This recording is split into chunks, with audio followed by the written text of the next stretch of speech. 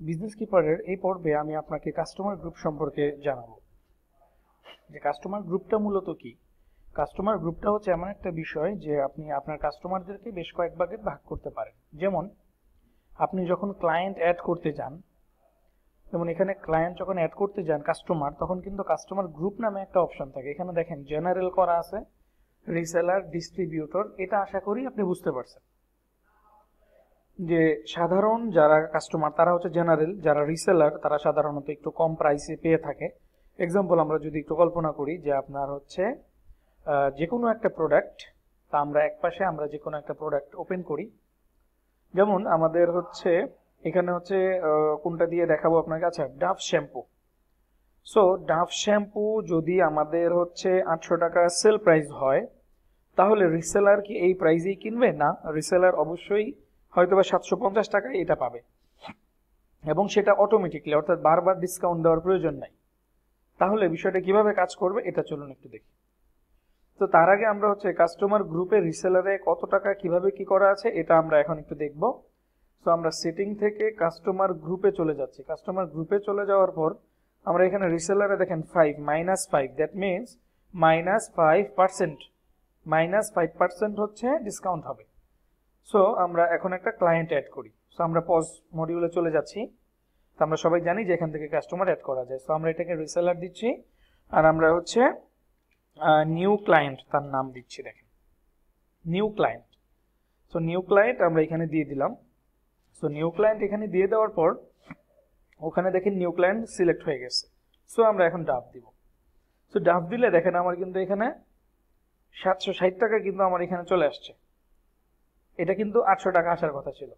So চলুন একটু check করি যে এটা কীভাবে আটশো টাকা আসার কথা। যেমন walk in customer so walk in customer যখন আমি ক্লিক করব, তখন যদি আমি এখানে ডাব দেই, তাহলে দেখেন আটশো টাকা চলে আসছে। বিষয়টা বোধহয় বুঝতে পেরেছেন। আবার দেখেন, এখান থেকে যখন আমি নিউ নিউ ক্লায়েন্ট দিচ্ছি, তখন আমার অন্যান্য প্রোডাক্টের সেম প্রাইস আসবে। যেমন কি দেওয়া যায়?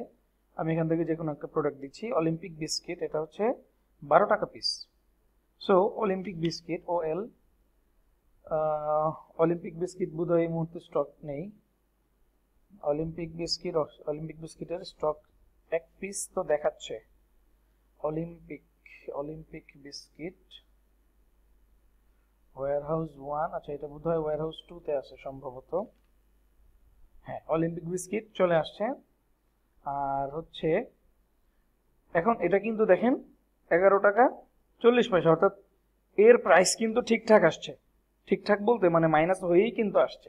কারণ সে হচ্ছে মাইনাস ক্লায়েন্ট অর্থাৎ ফাইভ পার্সেন্ট সে লেস পায়। এখন আরেকটা বিষয় চলেন, একটু চেক করে আসি। যেমন সেটিং থেকে কাস্টমার গ্রুপ এখানে কিন্তু নতুন গ্রুপ তৈরি করা যায়। সো আমি এটার ভ্যালুটা পরিবর্তন করে আমি হচ্ছে এটাকে ফিফটি করে দিচ্ছি, অর্থাৎ ফিফটি পার্সেন্ট লেস পাবে। সো আমরা হচ্ছে এখন যদি নিউ ক্লায়েন্টকে যদি আমরা একটা ওয়ারহাউস প্রধান থেকেই দিচ্ছি ডাফ সো ডাফ যদি দিই তাহলে কিন্তু এটা আটশো টাকার জায়গাতে চারশো টাকা চলে আসছে।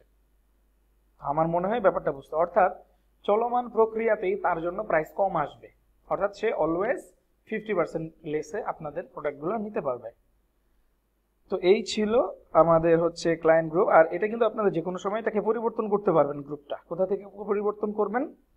পিপলে চলে যাবেন লিস্ট কাস্টমারে চলে যাবেন নিউ ক্লায়েন্ট নিউ ক্লায়েন্ট এখানে এডিটে যাবেন এডিটে যাওয়ার পরে তার গ্রুপটা এখান থেকে পরিবর্তন করে দিবেন। দেখেন, এখান থেকে পরিবর্তন করে দিলেই হয়ে যাবে।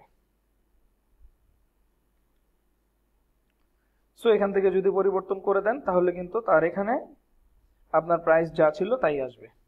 যেমন এখন যদি আমি ডাব দেই, তাহলে কিন্তু আটশো টাকার জায়গাতে আটশো টাকায় চলে আসছে। সো আমার মনে হয় যে আপনি কাস্টমার গ্রুপের বিষয়টা ক্লিয়ার হয়েছে